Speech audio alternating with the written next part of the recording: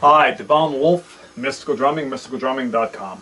Okay, we're going to talk about the accent. Most guys are playing the drums as follows. They are pushing instead of snapping.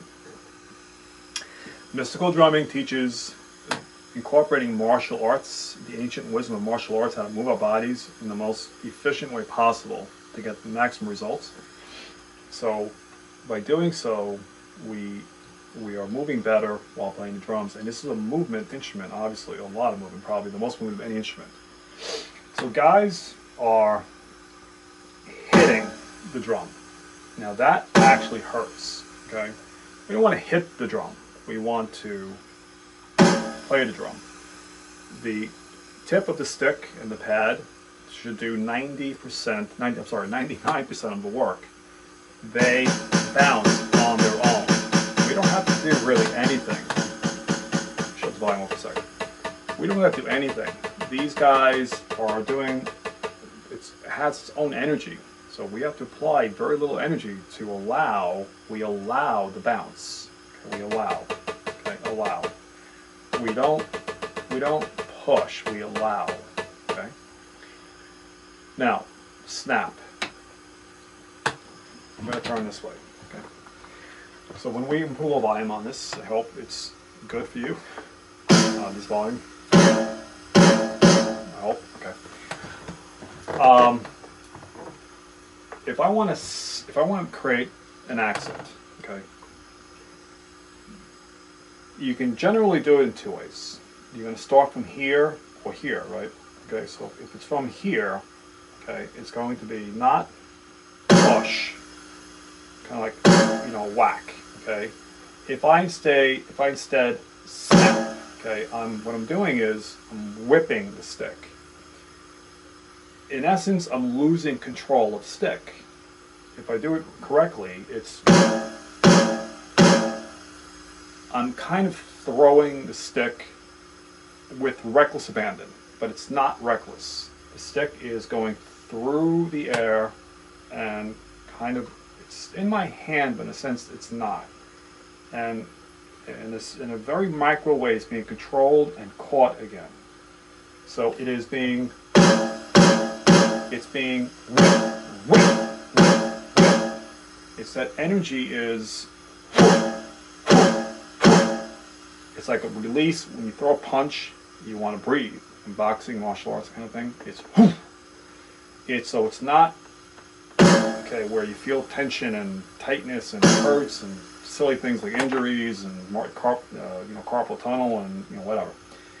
You don't want that to happen. Okay, it's okay. So the arm is dropped.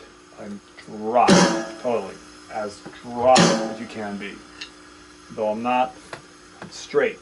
Right? So I have all my power here. I'm generating chi from within here. Kind of like it's like a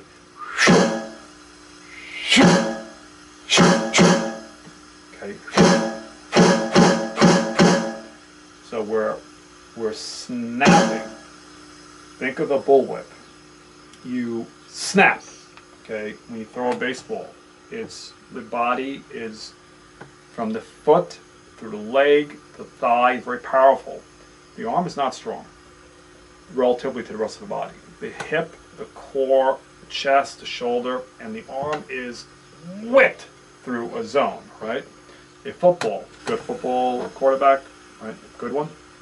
It's from the feet through the calves, through the very strong thighs, the hips, the core, right? The chest, the shoulder, and ball is whipped, right? Highlight, a good golfer, they're not whipping Tiger Woods, ideally, right?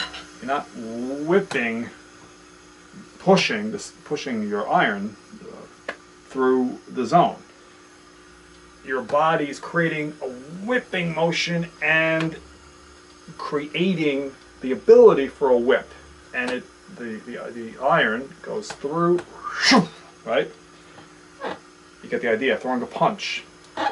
Throw a punch here, there's very little power in the arm. Throw it with your shoulder, there's more. Throw it with the back and the shoulder, now there's more. Throw it with the chest, back, shoulder, now moving the arm through a slot. Whew! There's going to be a lot more power. Now, if you really do it correctly, you're doing it from your foot, leg, thigh, hip, core, chest, and shoulder, and the arm is brought through. Like, or if you're boxing, you're doing doing a right a right cross. Okay, it's like a whipping motion, and as the last thing that comes through is the arm, and wham. Okay, right, and brought back immediately to cover. Whatever you're doing, cover. Okay, get the idea. So it's whip, whip, whip, if you're starting from here. From down on the, let's say, uh, the lower position. It's not, I am raising and hitting. No. What you're doing is you're whipping again. So it's, it's going upstroke and downstroke. So you, you have to raise. Instead of raising, it's like a cobra. You're going to cobra the stick. You're to cobra the stick. That's right. So think how a cobra strikes. It goes back and it's a wave. Right?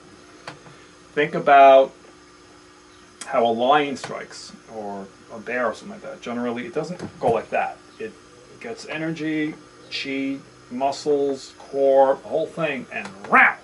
Okay, a rattlesnake. Get the idea again? So it's like this way. In essence, I'm kind of raising, coming up, and snapping. So it's rap, rap,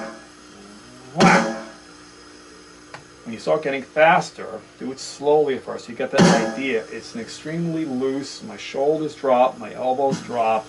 It's here. It's all loose, loose, loose, loose, loose. Loose.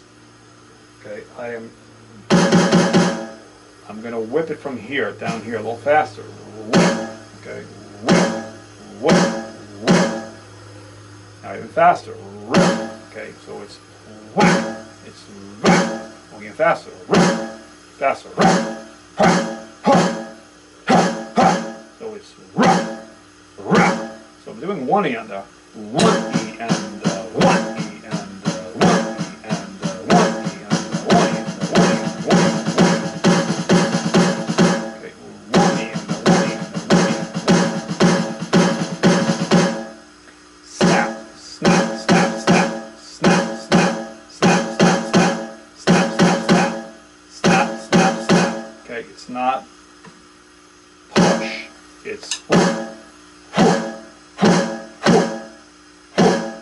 where you're doing a fill.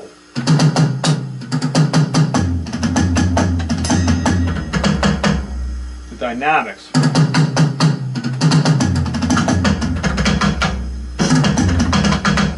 It's it's fluid with the accents by motion of keeping the snap, right? So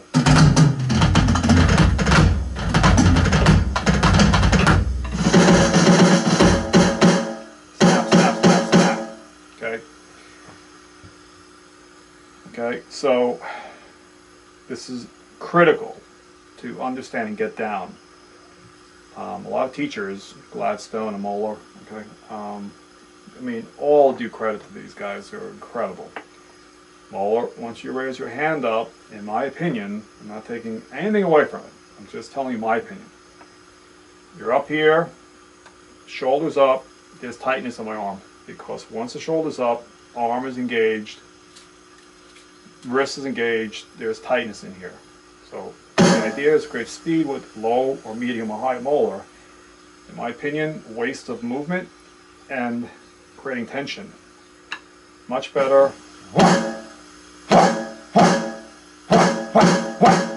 Up here.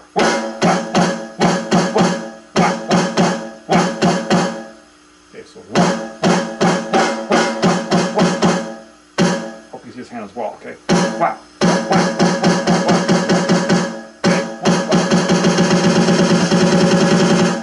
Loose, right?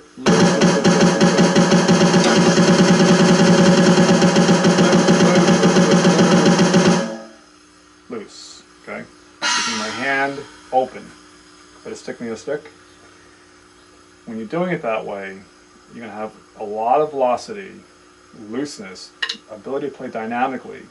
And you're doing rudiments and whatever, and you fills, plays, whatever you're doing, you're going to have tremendous good feeling about this. Okay, so okay, it's whip from up here or down here.